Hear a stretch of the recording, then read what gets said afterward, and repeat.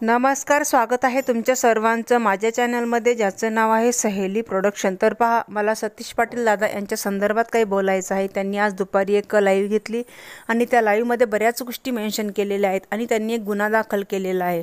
त्या गुन्ह्यासंदर्भात कागदपत्र देखील त्यांनी आपल्या लाईव्हमध्ये दाखवलेले आहेत आणि त्यांनी सांगितलेलं आहे की मी कुठल्याही गोष्टी खोटं बोलत नाही. ज्या काही आहेत मी प्रूफसहित दाखवतो. फक्त त्यांनी नंबर वगैरे दाखवला नाही पण त्यांनी जे काही नोटीस किंवा जे काही त्यांच्याकडे एक पेज होतं गुन्हा दाखल केला त्या संदर्भात त्यांनी लाईव्हवरती दाखवलेलं आहे. आणि अकोला येथील पोलीस स्टेशनमध्ये त्यांनी ती नोंद केलेली आहे किंवा गुन्हा नोंद नोंदवलेला आहे. आणि त्यामध्ये ते असं बोलत होते की मला खूप तू टेन्शन देत आहेस. आणि ते कुणाबद्दल बोलत आहेत हे आपल्या लक्षात आलेलं आहे. परंतु त्यांचं असं म्हणणं आहे की तुला तुझ्याकडे एवढे परदेशामध्ये बंगले आहेत आणि एवढं सगळं भरपूर पैसा आहे तर मग झोपताना डॉ झोपताना पण लाईव्ह घ्यायची जेवताना लाईव्ह घ्यायची कशाला डॉलर कमवते? आणि माझं मी एक बिन लग्नाचा मुलगा आहे माझ्या नावाने कशाला एवढं बदनाम करते? म बलात्काराची केस हे केस ते केस भरपूर काही ते असं बोललेले आहेत. त्यानंतर ते असं म्हटलेले आहेत की मला तू मान मानसिक टेन्शन देऊ नको आणि दुसरी गोष्ट मला जर मानसिक टेन्शन दिलं तर मी या मला म्हणजे खूप टेन्शन झालेलं आहे. मी खूप चिडलेलो आहे. कारण की मला आता कुठली गोष्ट सहन होत नाही. खूप संताप झालेला आहे. मी खूप वैतागलेलो आहे. खूप म्हणजे सगळ्या गोष्टीचा मला कंटाळा आलेला आहे. आणि एवढं सहन करून जर माझं जर अपमान होत असेल बदनाम बदनामी होत असेल तर मी आता लाईव्हवरती जर मला जास्त टेन्शन दिलं तर मी आता लगेच लाईव्हवरती माझं जीव देईल किंवा आत्महत्या करील असं ते म्हटलेले आहेत. आणि अजून भरपूर काही गोष्टी त्यांनी त्यांना ज्या ज्या गोष्टीचा वाईट वाटलं किंवा ज्या ज्या गोष्टी त्यांना इथे ते म्हटले मी एवढ्या दिवस सगळ्या गोष्टी बोललो नाही विनाकारण जाऊ दे जाऊ दे भांडण होतील. तुम्ही लाईक लाईक फॉलोसाठी सगळ्या गोष्टी करत आहात. डॉलरसाठी एवढे पैसा कमवत आहात. म्हणजे करत आहात. एवढाच पैसा झाला आहे तुमच्याकडं तर तुम्ही स्वतः लोकांना म्हणजे यूट्यूबवरती काय करताय किंवा कशाला डॉलर कमवताय? पैसा आहे तर अशा भरपूर काही भाषेमध्ये सतीशदादा म्हणजे एकदम चिडलेले आहेत भयंकर स्वरूपात ते बोलत आहेत. आणि अशाच पद्धतीने त्यांनी त्यांच्या लाईव्हमध्ये जो काही गुन्हा दाखल केलेला आहे कोणत्या व्यक्तीवर काय सगळं त्यांनी लाईव्हवरती दाखवलेलं आहे. आणि आपला राग देखील सगळ्या गोष्टी बोलून त्यांनी व्यक्त केलेला आहे.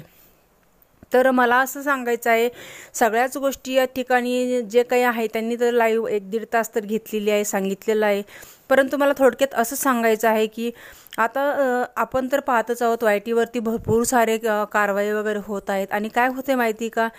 कुठेतरी एखादी गोष्ट एकमेकांबद्दल बोललं की पर्सनल लाईफ बाहेर काढलं की काय होतं की त्याचा मानसिक त्रास आपल्या स्वतःला तर होतोच. त्याचा त्रास होतोच स्वतःला. शारीरिक त्रास मानसिक त्रास त्याचा आपल्या कुटुंबावर भरपूर सारा परिणाम होतो. आपलं जे वैयक्तिक किंवा आपलं जे पर्सनल लाईफ असतं त्याच्यावरती देखील भरपूर परिणाम होतो. यातून साध्य काहीच होत नाही. एकमेकांची बदनामी आणि एकमेकांच्या कौटुंब कौटुंबावर त्याच्या म्हणजे कौटुंबिक सगळ्या सारा गोष्टींचा सारा अन्याय किंवा एक आपण जे म्हणतो परिणाम होऊन जातो. कुठेतरी हे थांबलं पाहिजे. पण आता जे काही असेल तर मला एक रिक्वेस्ट करायची आहे की ज्यांनी जे कोणी भांडणामध्ये असतील माधुरीताई असोत किंवा सतीश दादा पाटील असोत किंवा अजून आपल्या ॲडव्होकेट मनालीताई ज्या कोणी या व्यक्ती भांडणामध्ये समावेश असतील तर सगळ्यांना माझी एक रिक्वेस्ट आहे. मी तर तुमच्यापेक्षा मोठी नाही आहे मी तुमच्यापेक्षा लहानच आहे. पण तरीसुद्धा एक मला असं माझं मत मत मांडावं असं वाटत आहे की खरंच तुम्ही थांबवा प्लीज थांबवा माधुरीताई. मनालीताई आणि सतीशदादा पाटील अजून कोणी जर सहभागी असेल किंवा अजूनही कुणा असं चाललं असेल की कारवाई करेल आणि गुन्हा दाखल करेल तर मला ह्या गोष्टी तुम्हाला बोलावंसं वाटत आहेत की प्लीज या गोष्टीतून खूप परिणाम होते सतीशदादा तुम्ही पण थोडंसं मानसिक टेन्शन घेऊ नका. कारण की आत्महत्या वगैरे या गोष्टी तुम्ही असं बोलूसुद्धा नका. कारण की तुम्हाला असं वाटतंय ना तुम्ही बिना लग्नाचे आहात तर भविष्यात तुमच्या सगळ्या गोष्टींचा ह्याचा परिणाम तुमच्या भविष्यावर होऊ शकतो. आणि मग होतं काय बदनामी होती किंवा आपल्याला मानसिक टेन्शन येतं. आणि भरपूर सारे गोष्टी तुम्हाला तर सुरुवातीपासून सगळे सांगत होते. की तुम्ही या गोष्टीमध्ये फंदात पडू नका. तुमचं अजून सगळ्या लाईफ घडायचं आहे. बाकीचे आम्ही सगळे आहोत तर आमचं कसं आहे सगळं लाईफ एक सेटल झालेलं असतं. आणि एकदा कसं असतं ना सगळ्या गोष्टी सगळ्या संसारामध्ये होऊन गेल्या तर माणसाला काही वाटत नाही. परंतु तुम्ही अजून अविवाहित आहात तर अशा भरपूर साऱ्या अडचणी तुम्हाला पुढे पाहायला भेटतील किंवा अनुभव मिळतील. पण तुम्ही आत्ताच कसं आहे ना या गोष्टीमध्ये अडकून गेलेल्या आहात ना या भांडणामध्ये वादामध्ये. आणि विनाकारण मग काय होतं एक आपल्या नावावरती शिक्का पडला ना वाईट एखाद्या गोष्टीचा तर तो कलंक असतो किंवा एखादा दाग असतो तर तो मग नंतर आपल्यावरती आपला त्याचा परिणाम भविष्यावर उमटून दिसतात.